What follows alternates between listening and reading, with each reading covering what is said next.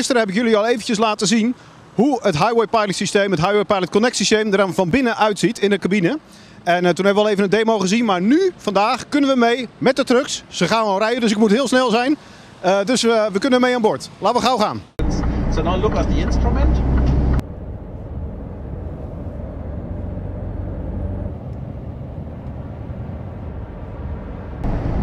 That's a requirement from the authorities. So we have a front light and a rear light, which is uh, indicating that we are operating. And now he is driving just in Highway Pilot Connect. So we are reducing our distance. Look on the secondary display what's happening there.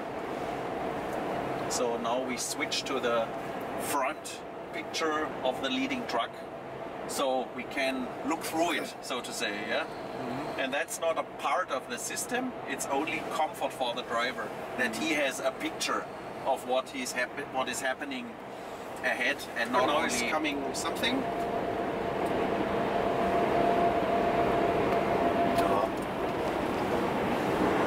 so we have the indication something is happening. I see. we are doing now the, the longer distance right